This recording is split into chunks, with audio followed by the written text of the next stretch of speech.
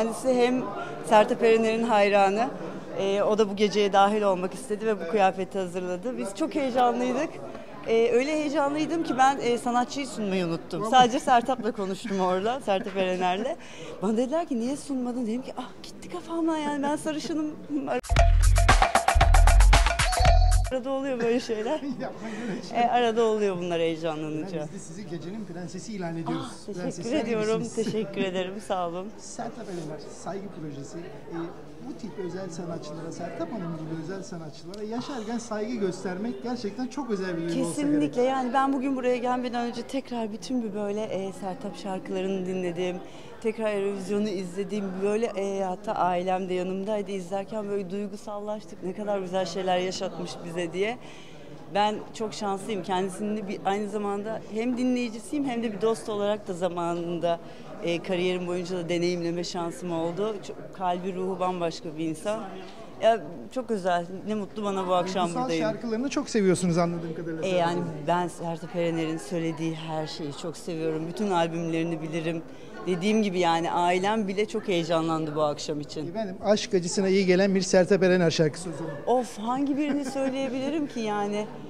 Ee, çok fazla şarkısı var. Şu an böyle söyleyince kala kaldım. Şu anda Novan orada söylüyor bir şarkısını. O şarkıyı çok beğeniyorum. Ama adını unuttum şarkının.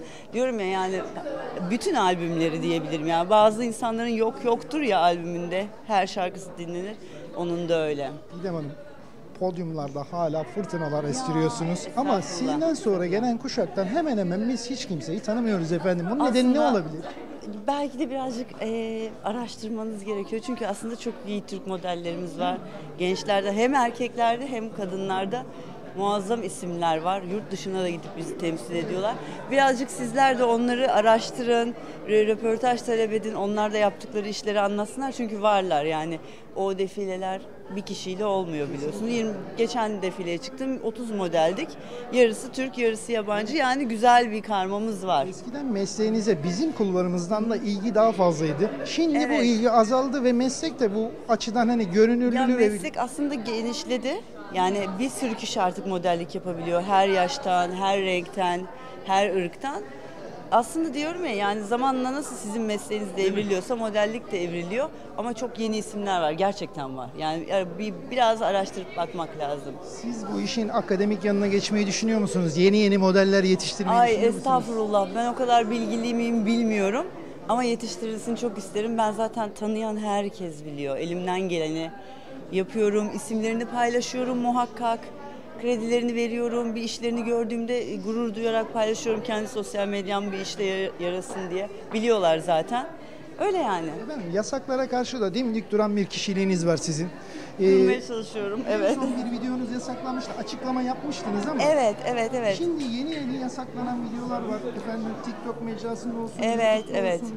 Ya bununla nasıl başa çıkacağız biz diye.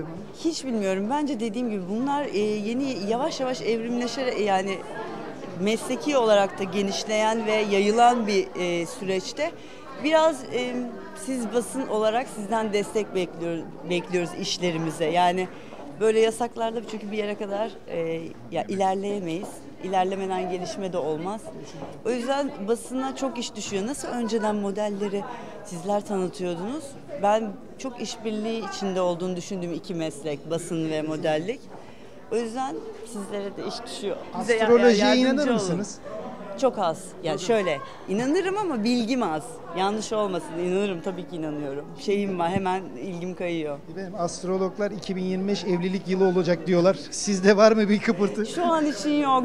Yani e, göreceğiz 2025'te evlenirsem demek ki astroloji bir şeyleri doğru söylüyor demektir ama benim hayatımda biri yok. Yani hayatınızda biri yok ama yani acaba 2025'te olursa hemen evlenir misiniz? Ah onu ben nereden bileyim? Onu nasıl bilelim? O kadar kısmet işi biliyorsun. Hiç hiç bildiğim şeyler değil. Sizin Biz kalbiniz, bilemeyiz. sizin kalbinizi çalacak olan erkekte ne gibi özellikleri olmalı? Buyurun efendim. İnan ben de bilmiyorum. Yani çaldığında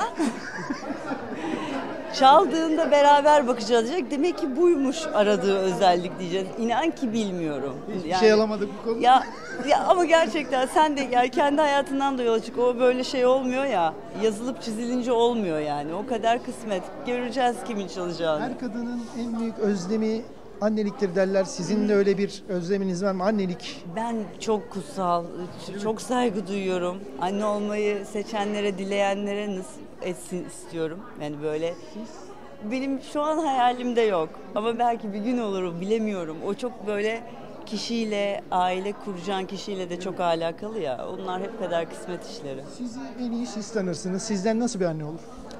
Benden galiba disiplinli bir anne olur. Evet evet ben kendim de disiplinliyim. Disiplinli sert bir anne olabilir benden. Efendim çok teşekkür ederiz. Ben Bizi teşekkür kırmadınız. ediyorum. Çok sağ olun. Çok sağ olun. teşekkür ederim. Teşekkür